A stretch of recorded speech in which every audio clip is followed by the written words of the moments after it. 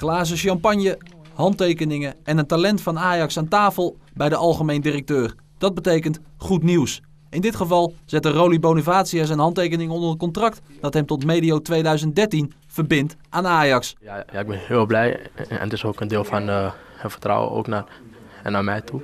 En uh, ja, ik ben, ben er gewoon heel blij mee eigenlijk. Ja, ja zeker.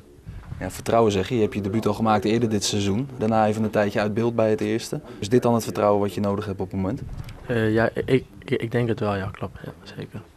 zeker. Wat is mooi, debuut maken of contractverlenging? Ik denk dat, dat ze beide wel mooi zijn. Ja. En de buurt maken is gewoon fijn.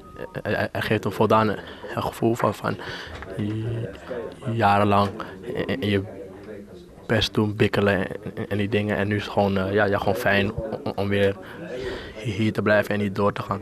Ja. Maar het bleef niet bij Bonavacia, want ook Rodney Snijder kreeg lovende woorden van Danny Blind en Rick van der Boog. En daarbij ook een contract tot de zomer van 2013. Daarmee ziet vader Snijder zijn derde zoon voor langere tijd bij Ajax tekenen. Na Jeffrey en Wesley is het nu dus de beurt aan een trotse Rodney.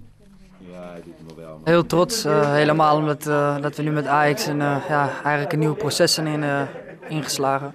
En ja, daar mag ik deel van uitmaken en daar ben ik heel trots op. Een nieuwe trainer en voor alle jonge spelers, ja, als je het goed doet in een jonge Ajax of wat dan ook, ja, dan word je er snel bijgehaald en ja, dat voelt heel fijn.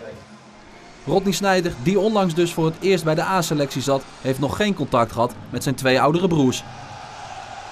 Vanavond uh, zal mijn oudste broer wel langskomen en Wesley die uh, spreek ik dadelijk wel telefonisch. Dus, uh, ik sprak hem gisteren even, maar vandaag nog niet, nog niet gehoord.